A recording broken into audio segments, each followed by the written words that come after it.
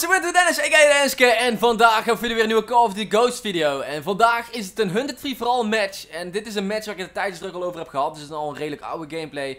Maar een tijdje terug zei ik al van, ik heb een 100 free for all Camstrike veel gehad. En dit is dus de gameplay, maar uh, het is zeker nog een heel mooi gameplay om te zien, dus ik kon hem uh, niet uh, achterhouden voor jullie. In ieder geval, het is een korte video, het is ook maar een kort onderwerp wat ik heb, dus dat komt goed uit.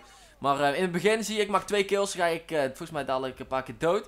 En dan vervolgens ga ik op een 23 gunstreak. En bij 25 kills is de match afgelopen. Dus als de match langer had geduurd, had ik waarschijnlijk mijn campstrike gehaald. Ook al uh, is het volgens mij niet mogelijk om in Hunted Free vooral überhaupt een campstrike te halen. Maar als je dan een 25 streak haalt, dan heb je in principe een campstrike. Maar je kunt hem niet inkallen.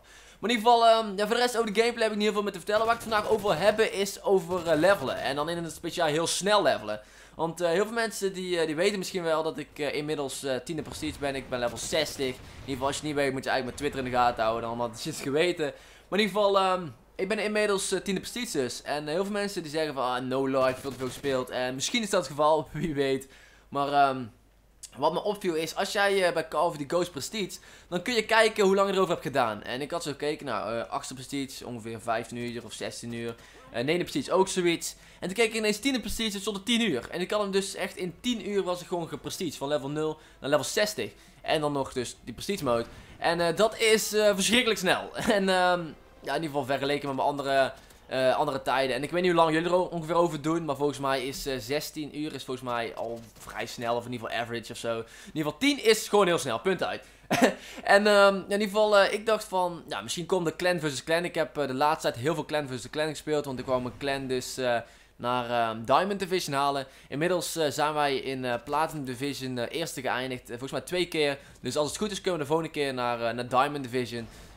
Voor de rest, we zijn volgens mij ook bijna level 17 en zo, dus dat is op zich best wel leuk.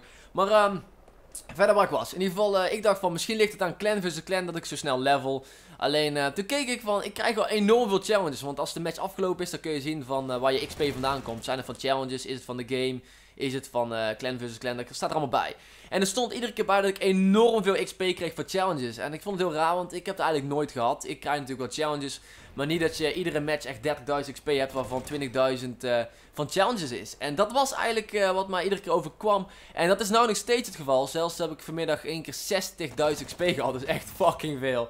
En uh, ik zal dat aan het einde van de video zal ik het wel even plaatsen, dat ik het zien. Maar uh, in ieder geval, uh, ik ben dus achtergekomen dat dat komt door challenges. En ik dacht het wel, alleen ik dacht van ja, weet je, misschien is dat gewoon iets randoms. Maar het moet gewoon echt een soort van bug of een soort van glitch zijn. Dus ik dacht van, ik maak er even een korte video over. Want ik had gekeken en het zijn eigenlijk hele makkelijke challenges. Het zijn de challenges die 9 van de 10 mensen die naar deze video kijken... waarschijnlijk wel in een eerste 20 levels zal halen. En er zijn allemaal challenges zoals 10 kills zonder dood te gaan... Um, kill elke enemy van het enemy team. Uh, 10 kills met je, met je killstreaks. Al dat soort dingen. Gewoon heel makkelijke challenges die je gewoon altijd haalt. En die resetten iedere keer. En elke keer als je het haalt en uh, de match is geëindigd, dan reset hij die weer. Dan haal je hem weer en weer en weer en weer. En uh, zo kun je gewoon super veel XP krijgen. En het enige wat je moet doen is gewoon spelen. En um, de reden dat ik in Clan vs Clan ook extra veel XP kreeg was uh, vanwege die challenge dat je alle enemies moet killen. Want je moet uh, alle enemies killen, minstens 4. En clan versus clan is 4 tegen 4. En uh, ja, dan heb je eigenlijk heel snel dat je alle enemies killt. En dan haal je gewoon heel vaak de challenge. Want over het algemeen kun je natuurlijk minder XP krijgen in clan versus clan als in, in een gewone domination match. Want in een normale domination match kun je soms wel 70 kills halen. Terwijl dat in clan versus clan niet echt mogelijk is. Maar in ieder geval... Um, ik wou dit, dit, jullie vertellen, want ik denk toch dat het een soort van glitch is. Het zou kunnen zijn dat ze dat expres doen, dat ze ja, gewoon willen dat mensen wel meer Call of Duty Ghost gaan spelen. En uh, dat ze zeggen, je, kijk, je kunt lekker snel levelen, ga gewoon weer Call of Duty Ghost spelen. Misschien is dat hun manier om te laten zien hoe wanhopig ze zijn. Maar uh, ik denk dat het een soort van glitch is of zo. Dus ik raad jullie aan, als jullie nog willen levelen, ga het nou doen. Want nou kun je gewoon super snel levelen. En wie weet wordt het snel gepatcht.